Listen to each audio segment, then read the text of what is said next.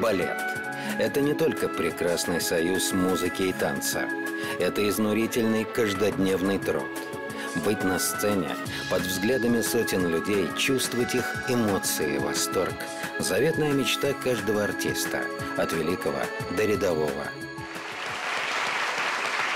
В балете одержимость сценой проявляется особенно ярко. За место под софитами разворачиваются безжалостные закулисные войны. Плетутся интриги. Ломаются судьбы. Почему народного артиста Советского Союза Мариса Лиепу со скандалом выгнали из Большого театра? Отец был очень независимой фигурой, всегда говорил правду. На что приходилось идти богине русского балета Майи Плесецкой, чтобы отстоять свои главные партии? У нее был зампредседатель э, КГБ Бабков. Он был ее, ну, вот как бы поклонник. Он ей коробки конфет, дарил цветы. Что стало причиной многолетней вражды между двумя гениальными балеринами – Улановой и Лепешинской? Они с Лепешинской сидели в одной грим-уборной годами с этой Лёлей. Они не разговаривали. Почему прима-балерина Кировского театра Наталья Макарова сбежала из страны? Кто-то бежал из-за репертуара, кто-то... Но я не верю, что это были только политические. Как Анастасию Волочкову выживали из Большого театра и что на самом деле стало причиной ее увольнения? И прихожу в гримерную, обнаруживаю, что с моего костюма черного лебедя сняли все украшения, всю отделку, все срезали и превратили эту пачку просто в черно облезлую. Хрупкие и воздушные на сцене, за кулисами танцовщики ведут ожесточенную схватку за главные роли, признание и славу. Одного таланта здесь недостаточно. Чем приходится жертвовать артистам, чтобы снова и снова выходить на большую сцену? И если победители в этой закулисной войне –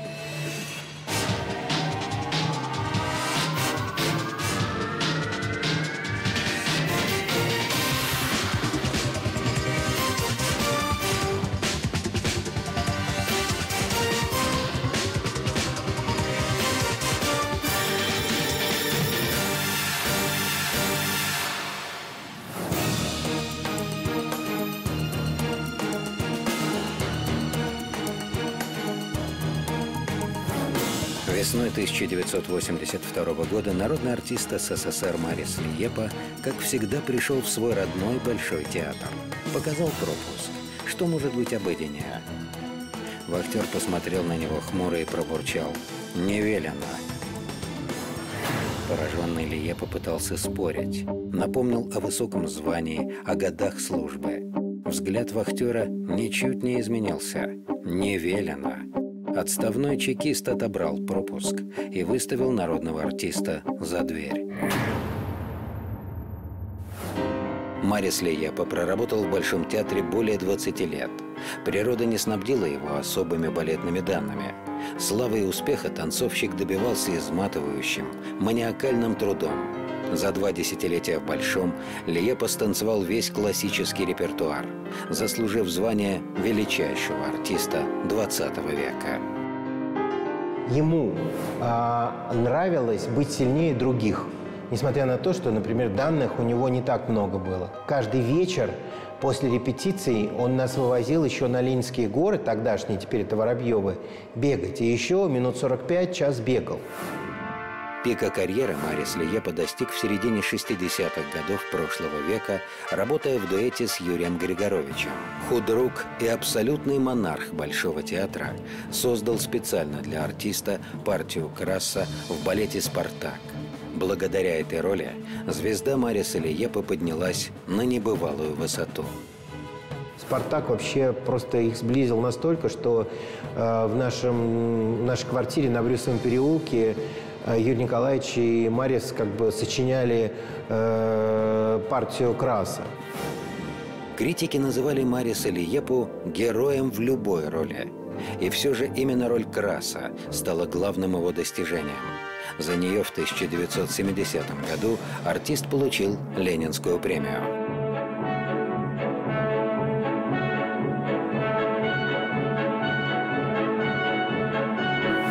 Класса после моего отца никто не повторил. Никто, ни один. Я не могу забыть это впечатление, когда открылся занавес в «Спартаке», и вот та же самая э, огненная энергия, которая хлынула на меня. Самыми плодотворными в работе с Григоровичем для Мариса Лиепа были первые шесть лет. А потом, в 70-х, отношения между танцовщиком и балетмейстером дали трещину. Отношения складывались э, с солистами довольно сложные, очень сложные, да. Это и те, кто, все, кто танцевал у него в спектаклях, сначала это было все очень здорово, но потом они все становились звездами, они становились великими артистами, да. Вот. И эти великие артисты хотели чего-то другого. Марис Лиепа мечтал о больших звездных ролях. Однако после «Краса» он станцевал лишь четыре новые партии. Юрий Григорович, который в свое время зажег его звезду, практически отлучил артиста от сцены. Причина конфликта между танцовщиком и балетмейстером долгие годы оставалась одной из главных интриг за кулисья Большого театра.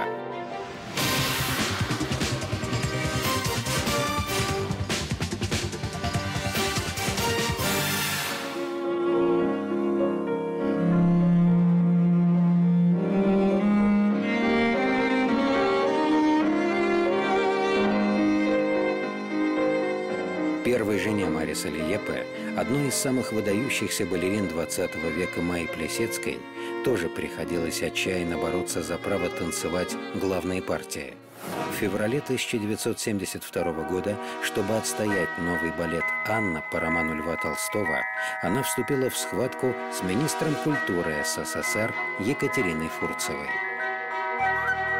Тогда это вызывало протест просто с той точки зрения, что это Толстой. Толстой – это святой. Как его можно вообще балет, где надо ногами все изображать и ноги задирать, и вообще балерин наверх куда-то бросать. Министр культуры часто посещала генеральные репетиции в Большом. Балет – дело государственное. Анна Каренина в исполнении Плесецкой Фурцеву возмутила. Откуда эта буржуазная эротика? Каренина буквально в неглиже валится на Вронского. Это возмутительно и недостойно советского балета. Плесецкая пыталась возразить, приводила примеры из своих предыдущих спектаклей. Время было другое. Сейчас бы придирались к каждой ее позиции. Ну, до сих пор придираются, есть сумасшедшие, которые кричат, что и тут она не так встала, там она не так прыгнула, там и так далее. Но тогда а дело в том, что, что чудо Плесецкой было так же, как и чудо Анны Павловой. Они опережали эстетику на 20-30 на лет. Но Фурцева непреклонна, а ее вердикт однозначен. Над балетом еще работать и работать. В этом сезоне премьеры не будет.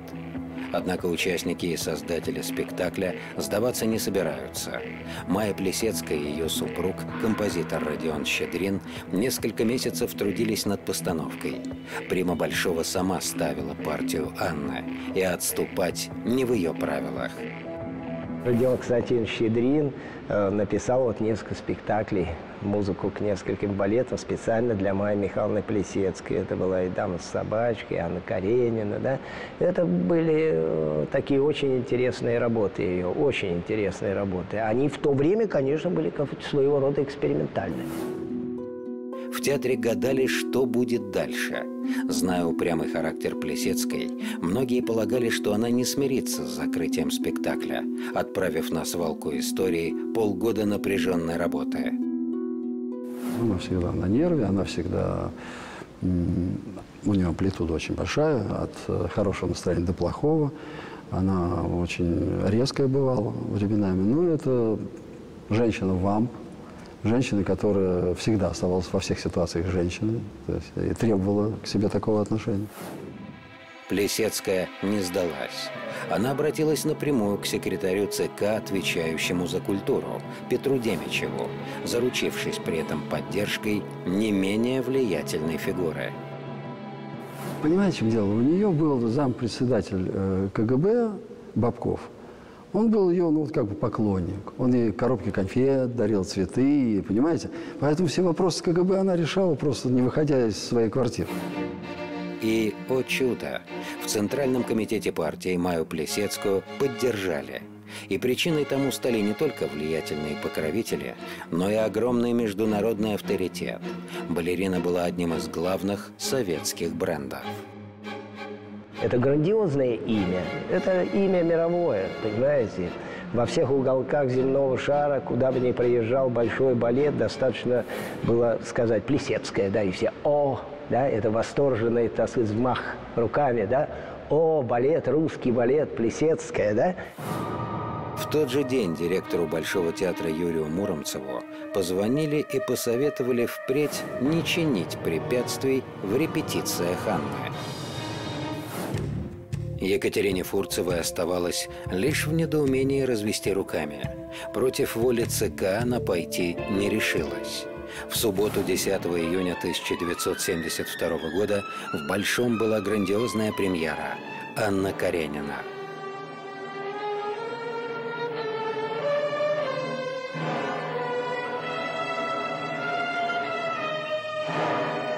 Появилась, так сказать, и дальнейшие спектакли «Чайка», появилась «Дама с собачкой».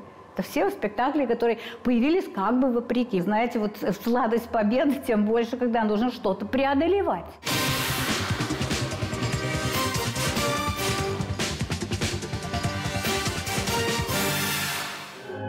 Особым расположением властей пользовался и Марис Лиепа. Попав в Москву, он стремился обзавестись нужными связями. Танцовщик лично поздравлял с праздниками жен высоких руководителей, посещал закрытые приемы в министерствах, ухаживал за влиятельными дамами и даже пользовался особым расположением дочери Леонида Брежнева Галины. В Большом театре были свои министерства. Там, знаете, вот поклонники, которые э, так кучковались все. И, значит, одни любили одного артиста, другие другого. Там. Ну, сколько интересных историй можно рассказать об этих людях, да? Особенно, если это касается там или поездок, или амурных дел. Конечно, и Лепа был уверен, что он лучше Василия. Васильев явно был уверен, что лучше Лепы. Естественно, каждый пользовался связями. Ну, кто из нас сегодня не пользуется какими-то связями? Связи в высших кругах и непростой характер великого танцовщика художественного руководителя Большого не страшили, а явно раздражали. И это становилось все очевиднее. Доведя гримеров до нервного срыва и получив необходимый заряд энергии, артист буквально влетал на сцену, и зрители замирали в восхищении.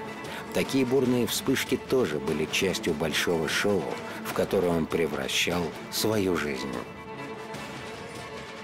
Ну, в Большом театре у всех сложный характер. Я, я не помню ни одного артиста, который э, был бы в такой первой обойме, у которых бы был легкий характер. Э, он латыш, поэтому э, характер очень такой стойкий, нордический. Народ маленький, но очень независимый. В театре Марису Лиепе многие завидовали, а некоторые, что уж греха таить, побаивались его. Но Юрий Григорович – человек не испугливый связи в высших кругах и склочный характер великого танцовщика, художественного руководителя Большого не страшили, а явно раздражали, и это становилось все очевиднее.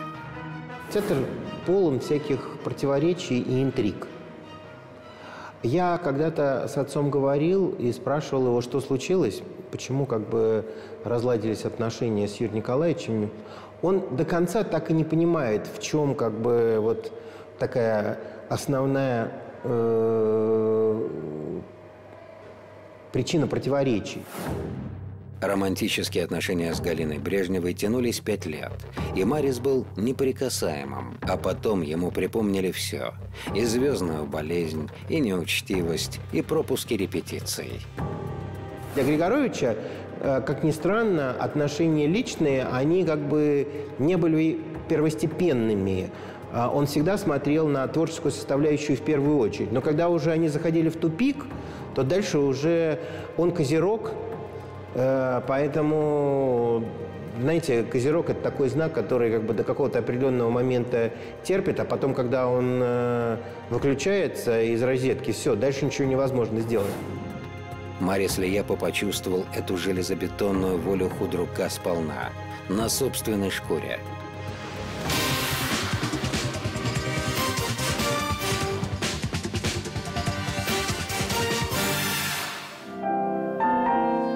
несгибаемый характер. Без него пробиться на вершину балетной славы практически невозможно. Впрочем, далеко не всякая звезда сцены находит в себе силы переносить тяготы судьбы молча, не опускаясь до закулисных интриг и разборок. Великой танцовщице прошлого столетия Галине Улановой это удавалось всегда – Галина Сергеевна была просто очень скрытный человек. Я думаю, что во многом от того, что она все-таки выросла в определенный период э, истории российской э, действительности. Ноябрь 1945 года. Большой театр готовится к премьере. Балет «Золушка» обещает стать настоящей сенсацией. Ведь в главной роли Галина Уланова – Та самая, что еще до войны блистала на сцене Кировского в «Ромео и Джульетте» на музыку Прокофьева. Галина Сергеевна тогда Уланова, она поразила. Она, конечно, поразила Джульеттой. Мир, может быть, тогда и не видел такого слияния вот танца с, с, драма, с проникновением вот внутрь образа, да. Вот это была танцующая драматическая актриса.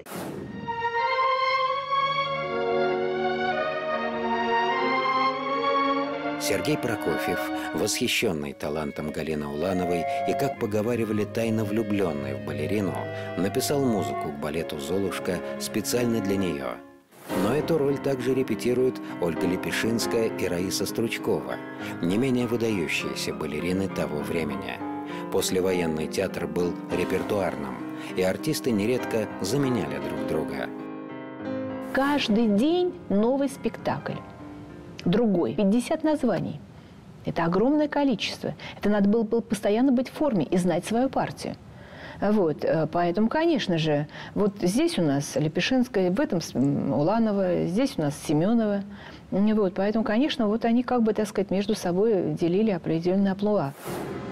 Уланова упорно работает над ролью, готовится к премьере, поскольку уверена, первую «Золушку» станцует именно она – Однако тревожное чувство не покидает балерину.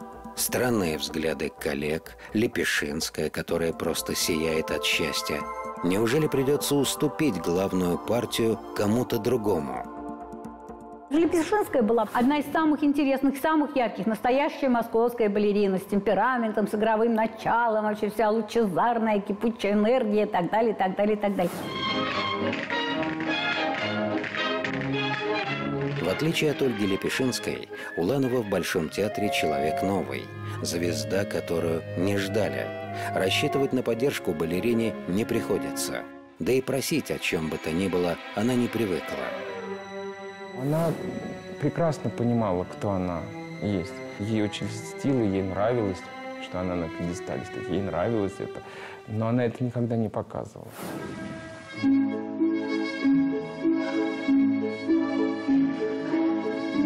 Большой разделился на два лагеря. Коллеги, да и сам постановщик «Золушки» Ростислав Захаров были за Уланову, считая, что именно ее манера, пластика и талант как нельзя лучше подходят для главной роли. Однако дирекция театра настаивает. На премьере должна танцевать Лепешинская. И на то есть веские причины. Ольга – любимая балерина самого Сталина. Сталин, в отличие от очень многих, балет любил и часто посещал балетные спектакли. Понимаете, закулисные дела, как близки они были, это я вам не могу сказать. И никто из них не написал мемуары. Это тоже о чем-то говорит. Понимаете, никто. Ни Уланов, который уничтожил все свои бумаги, да, ни Ольга Васильевна Лепешинская и так далее. Уланова выяснять отношения не любила. Все обиды и несправедливость переживала молча. За это коллеги называли ее «великой немой». И на этот раз балерина молчала и продолжала репетировать. Жизнь она сдержанная, но я думаю, что внутри у нее вулкан. Это мое мнение. А, мы готовили только один спектакль, не больше с ней. Ну, впечатления какие-то грандиозные. Незадолго до премьеры Галину Сергеевну вызвали в дирекцию театра, фактически на оглашение приговора. Золушку будет танцевать Ольга Лепешинская. Так решил Сталин. Лично. Надо ли говорить, что с мнением вождя народов никто не посмеет спорить? Уланова выдержала удар с достоинством. Это жизнь. Понимаете, если выбрали не эту профессию, то, извольте, переживания, эмоции и так далее вне сцены, ну, имею в виду личные. А сцена – это сцена, это святое. Премьера «Золушки» состоялась в 1945 году. На сцене блистала Ольга Лепешинская. Уланова, как всегда, промолчала, ни разу не упрекнув соперницу. Она высокой культуры была, человек прям видно, да, видно по всему. И то, как она говорила, и немножко так приглушенно по голосу, всегда тихо, всегда тихо. Пройдут десятилетия, и к концу жизни Уланова и Лепешинская помирятся. В дневниках Лепешинская признается, партию «Золушки» на премьере я выхватила у самой Галины Улановой, но по таланту мне до нее далеко. Уланова действительно была гениальной. Я никогда не ставила себя вровень с ней. Они с Лепешинской сидели в одной грим-уборной годами с этой Лёлей. Они не разговаривали. На старости лет прорвало. Она могла вот здесь сидеть, в этом углу. Она могла с ней три часа разговаривать по телефону.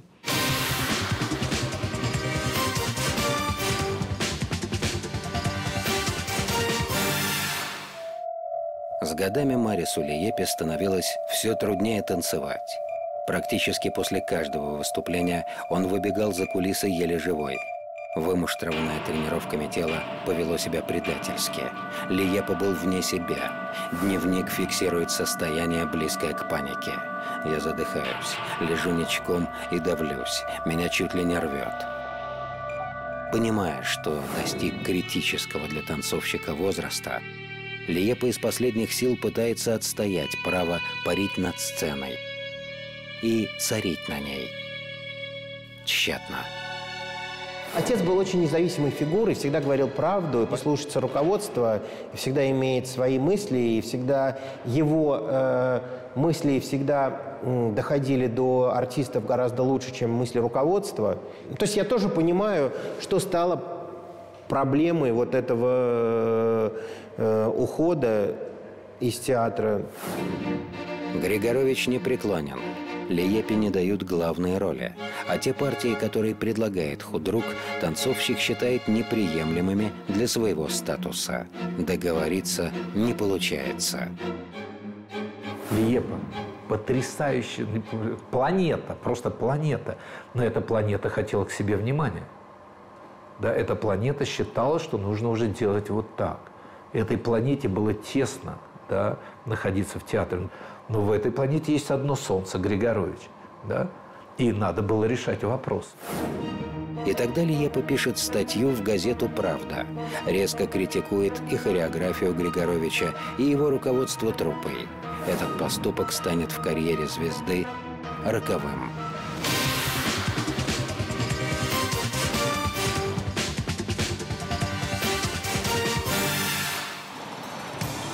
Другом всемирно известном театре, Мариинском, тоже кипели нешуточные страсти.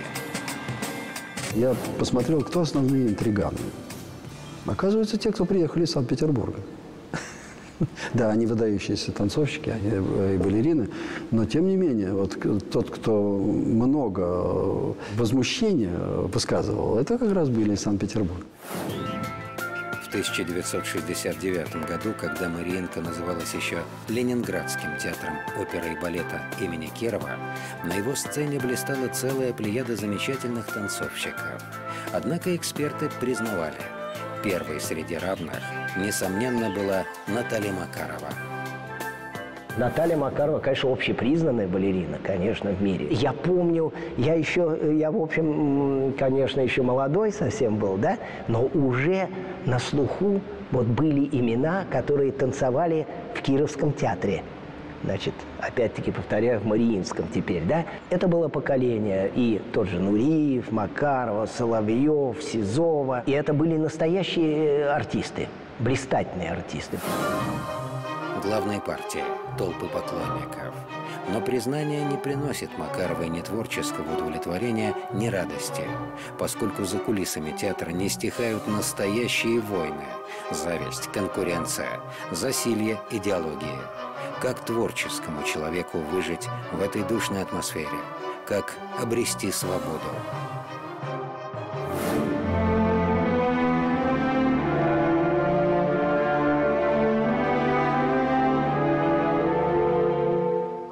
Бунтарский характер Макаровой проявлялся еще в балетном училище. К выпускному спектаклю она готовила ПДД из Жизели и решила подкорректировать хореографию. Педагоги в приказном порядке запретили вольности. Однако на сцене мятежница все равно исполнила роль по-своему.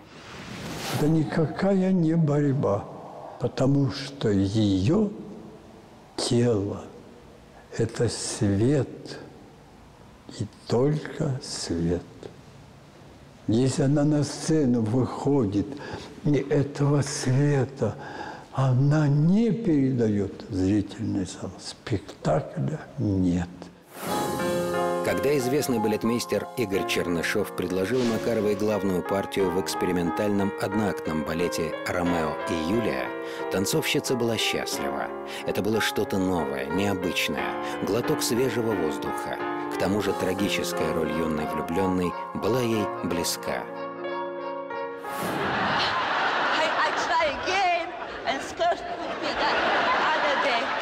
Но новый балет до премьеры не дожил. Эксперимент не понравился худруку Керовского театра, и спектакль запретили. Для Натальи Макаровой это стало последней каплей. 4 сентября 1970 года во время гастролей в Лондоне танцовщица решилась «сейчас или никогда». После спектакля на лондонской сцене Макарова едет в гости к своим английским друзьям – Никто в трупе не подозревает, что в гостиницу танцовщица не вернется. Мы только жили вот слухами, а вот говорят, а вот, если как в народе говорят, что вот они, вот что-то не состоялось, что-то так. Ну, может, может быть, желание выйти вот за границы чего-то вот нашего, да, и потворить там на Западе, потому что считалось как бы, что там больше свободы с точки зрения творчества, да? Бегство вызвало шок не только в трупе Кировского театра. Семью Макаровой, ее мать, отчима и брата чуть не каждую неделю вызывали в КГБ, угрожали, запугивали, требовали уговорить беглянку вернуться. Но к мольбам родных балерина осталась безучастной. Ей казалось, что все эти жертвы не напрасны, ведь впереди долгожданная свобода и мировая слава первые дни после побега ее поддержал другой знаменитый беглец – Рудольф Нуреев. Вместе с ним Макарова выступила на телевидении, исполнив ПДД из балета «Лебединое озеро».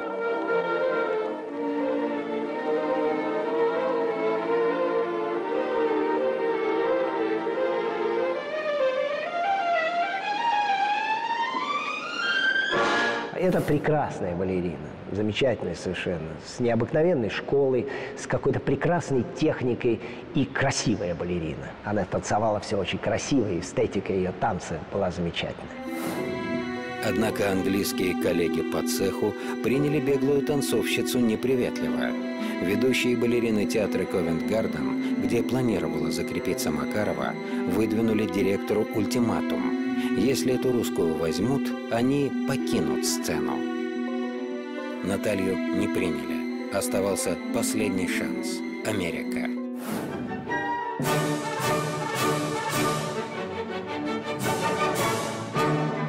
В знаменитом American Ballet Theater Наталья Макарова проработает долгие годы – будет искать себя в кино и на театральной сцене, в том числе и на родине, куда приедет спустя много лет уже как гостья. Она пришла, и она сразу говорит, так что я буду играть у вас? Я сказал, есть пьеса о балерине, называется «Двое на качелях. Я ей принес пьесу, она прочитала, все, и мы влюбились. Другого не могло быть. Но и эти эксперименты не принесут танцовщице того ошеломляющего успеха, которого она в свое время добилась на сцене Керовского –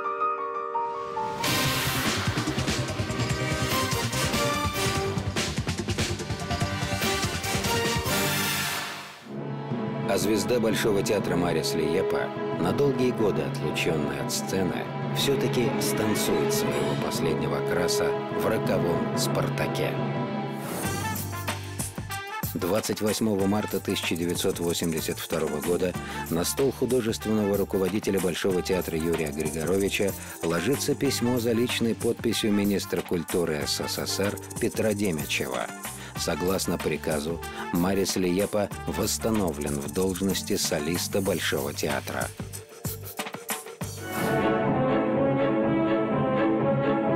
Танцовщик вновь блистает на главной сцене страны.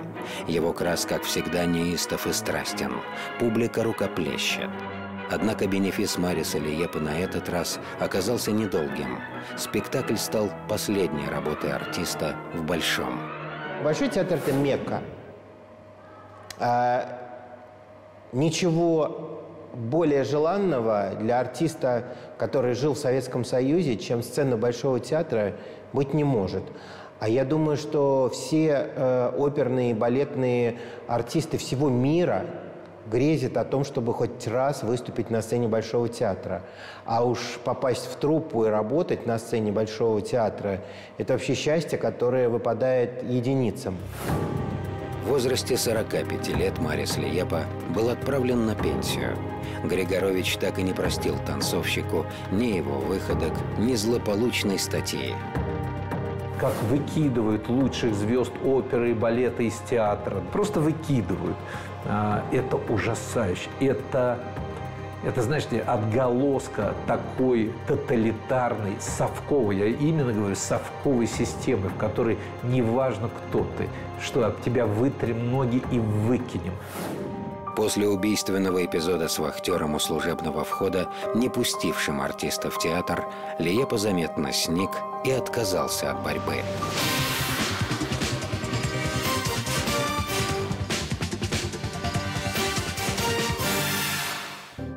Изгнание звезд из главного театра страны всегда сопровождалось большой шумихой.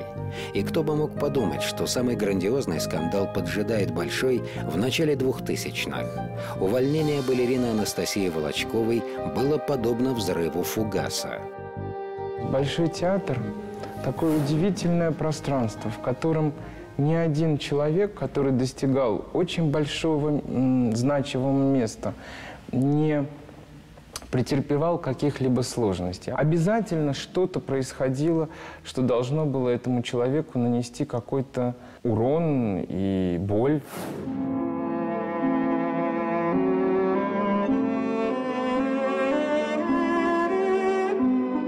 Волочкову уволили из Большого театра в 2003 году.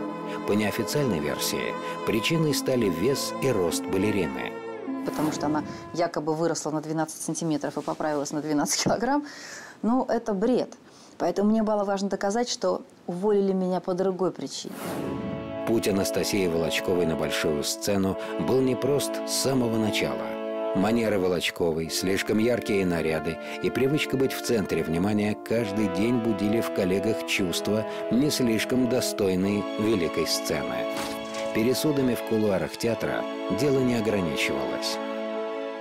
Могло всякое быть. Стекло, пуант, это уж такой общепринятый стандарт. А вот подрезать Леночка, почему бы не сделать плохо, правильно? Я же все равно лучше. Она сейчас вот ложанется и покажет все. В результате Волочкова однажды чуть было не пропустила выход на сцену. Балет «Лебединое озеро» идет, пока я танцую «Белого лебедя». И прихожу в гримерную, обнаруживаю, что с моего костюма «Черного лебедя» сняли все украшения, всю отделку, все срезали и превратили эту пачку просто в черную облезлую. Я просила у многих из них, дайте мне пачку, выйти в вашей пачке, дотанцевать уже этот второй акт и вернуть вам ее. Мне ни одна балерина не уступила свой костюм. Ни одна.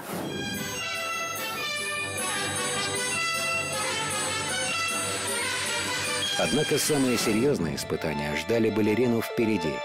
На открытии сезона 2003 года она должна была танцевать «Лебединое озеро», но ее партнер Евгений Иванченко неожиданно подает заявление об уходе. Накануне спектакля Волочкову снимают с роли. Далее последует публичное обсуждение ее внешности, увольнение из театра и долгие суды за право блистать на главной сцене.